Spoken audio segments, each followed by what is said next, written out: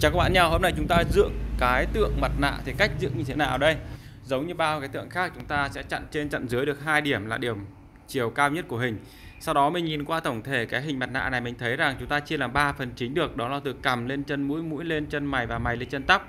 Cái phần trên cùng này các bạn thấy không ạ? Phần ngang đấy nó chia một nửa thì mình đo được là chiều ngang từ bên trái sang bên phải ngoài cùng nhất bằng từ cằm lên phần gạch ngang của phần thứ ba trên trán. Sau đó các bạn đặt ngang ra xoay ngang chúng ta kéo thẳng xuống. Vậy là chúng ta đã được chiều ngang của hình. Các bạn có hình dung rõ không ạ? Ở phần này tiếp tục thì chúng ta chia đôi cái phần này. Đó, chia đôi ra để làm trục mặt chạy thẳng và góc chính diện. Mình thấy một điểm là chúng ta thấy những điểm lớn. Phần trên cùng chúng ta thấy ba phần này. Ba phần lớn là mình chia ngang. Ba phần lớn này chúng ta chia trước để làm gì? Để mình xác định được phần phần mày ở giữa và mình kéo xuống hai bên các bạn nhìn này. Để kéo hai bên như này chúng ta gióng ngang giống ngang nhớ là vẽ tượng hay là vẽ một hình bất kỳ chúng ta sẽ sử dụng việc giống ngang và dọc. Đây mình chóng dọc để xem được cái đường chéo hai bên, tức là giống như hai phần má của chúng ta đó, nó chéo vào bao nhiêu chúng ta giống dọc lên trên. Đó, mình thấy cái đoạn mình đã tìm và chia kia, nó thụt vào, mình sẽ giống lên trên. Cuối cùng mình giống tiếp tục. Khi xác định được nó này, còn giống ngang thì mình thấy là phần ngang gậm miệng nên đấy là lý do tại sao mình gạch phần kia vào.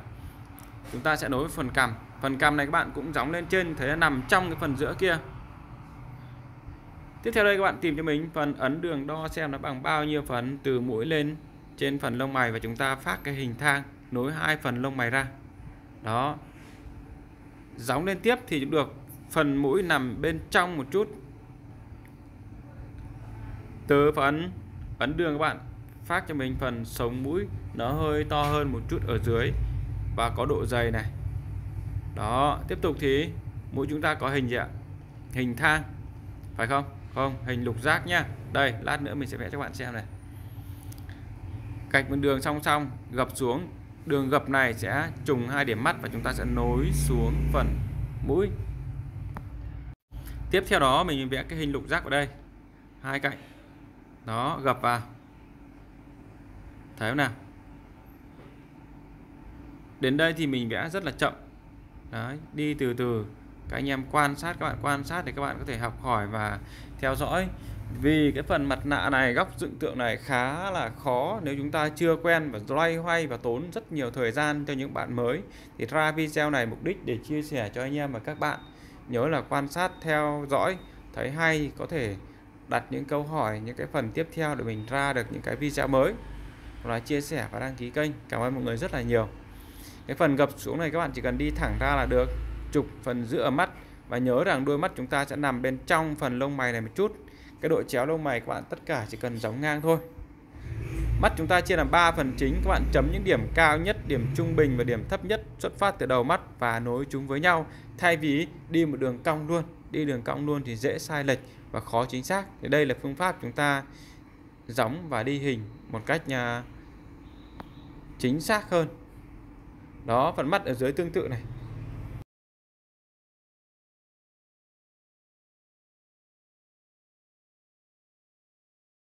Và sau khi xong phần mắt thì mình vừa làm là gióng từ trên xuống xem có trùng cái điểm phía trên mình chia hay không.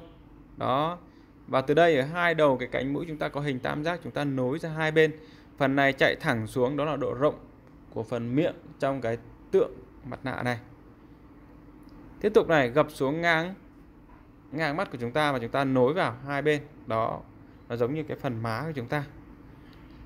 Từ phần nhân trung mình kéo thẳng một mạch xuống cái phần cằm một đường lớn. Đó là xu hướng nó to dần ở phần miệng.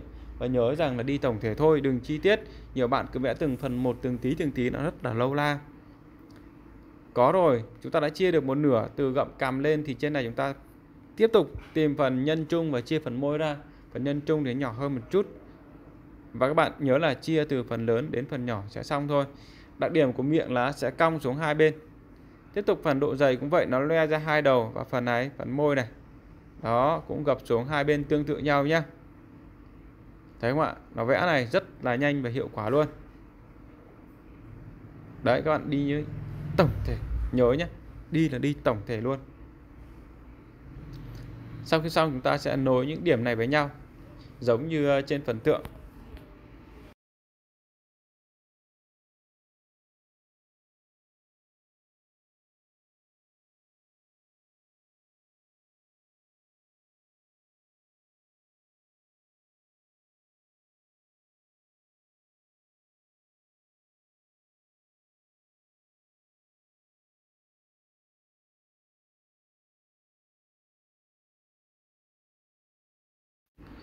và các điểm còn lại này sau khi dựng tổng thể rồi, xác định vị trí, chúng ta bắt đầu phác họa những chi tiết nhỏ hơn vào bên trong.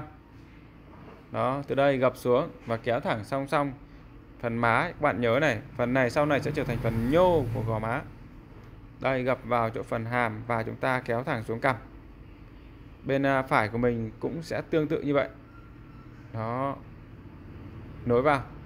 Còn hai bên có đường chéo chạy lên trên phía đông mày và chéo ở hai phần góc. Sau này là giống như cái phần mai à, của chúng ta. Khi đi xong thì việc tiếp theo chúng ta sẽ dùng tẩy. Chúng ta sẽ tẩy đi những phần cần thiết. Đó.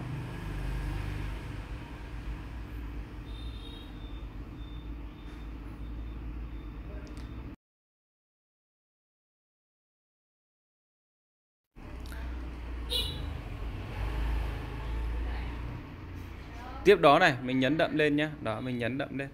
Những cái phần bên diện tối.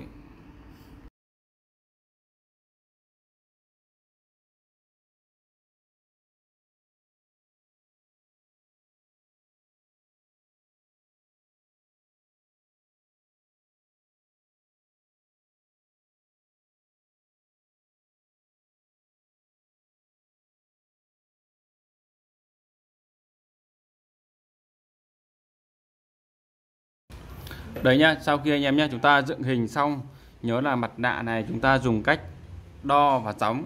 Tức là chúng ta gióng ngang để biết được những chiều này cao hay là thấp. Gióng ngang để biết phần hàm ngang miệng hay không và gióng dọc để biết là nằm trong hay ngoài. Đấy, mũi thì thường là gần trùng cằm, đúng không ạ? Và khi chia xong ánh sáng nguồn chiếu từ bên tay phải chúng ta sang thì chúng ta sẽ đi những cái diện bên này, tìm những cái phần tối nhất. Đấy, những cái phần tối nhất là chúng ta gạt qua lớp đây để mình đi gạt qua một lớp cho mọi người xem nhé. Đó, đây. Đó. Hay trước khi đi chúng ta có thể nhấn đậm này. Thả này. Tương tự. Cái mũi này ở đây đậm này. Đó. Chỗ này thì cũng đậm ở đầu và sáng ở phía sau. Và ranh giới giữa phần tối và phần sáng đây đây tối và đây sáng. Thì ngược lại, chỗ này cũng vậy, tương tự, bên này là sáng nhất đây. Tức là riêng phần mũi này có 3 phần sáng, trung gian và phần tối hơn. Bao giờ cũng vậy. Ở đây tương tự này. Cái phần ở giữa này sẽ là phần trung gian. Đó. Sau phần trung gian thì đây là phần đậm đậm hơn, ta gạt những cái nét đậm hơn.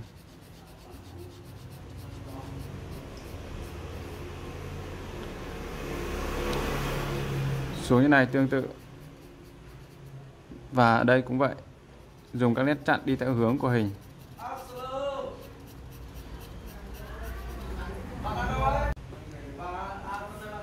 Tương tự rằng ở dưới này phần miệng gậm nó sẽ đậm hơn chúng ta sẽ gạt qua một chút đây. Và đây chúng ta gạt thì nó cong xuống đậm. gập hơn. Thì phần này gập xuống nó đậm hơn. Vẽ thì bao giờ cũng có ba sắc độ chính đó là phần sáng, trung gian là phần tối, đi phần tối, tức là phần tối đi trước, phần sáng đi sau, đi từ nhạt lên đậm. Đây chúng ta đang phân mảng diện tối lớn nhất. Đó, xong công việc này chúng ta bước vào đánh bóng sau. Các bạn nhé.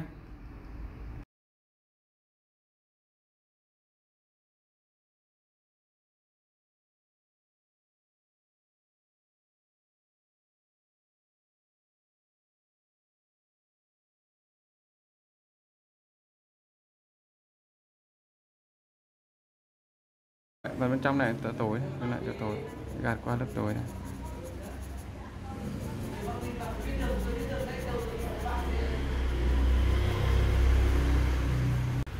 Phần mắt này tương tự này.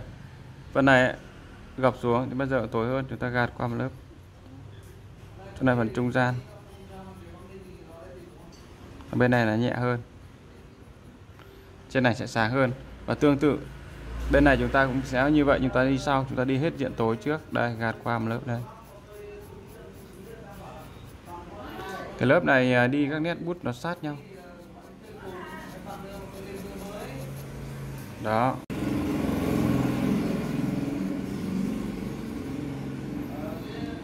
Ngược lại phần dưới này, phần gậm này, cũng tương tự này. Nó sẽ có một tí sắc độ đây.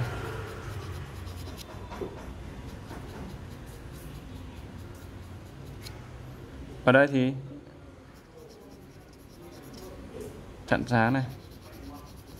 Phần gập xuống. Chỗ cầm này thì sẽ là đậm.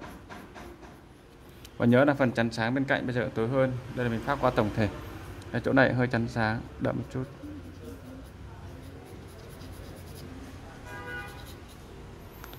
Và ngược lại cả phần đây.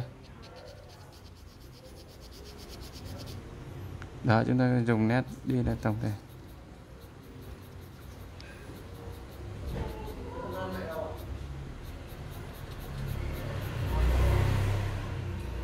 Ngược lại, bên này. Quất sáng. Chỗ này hơi gập xuống. Và chỗ này.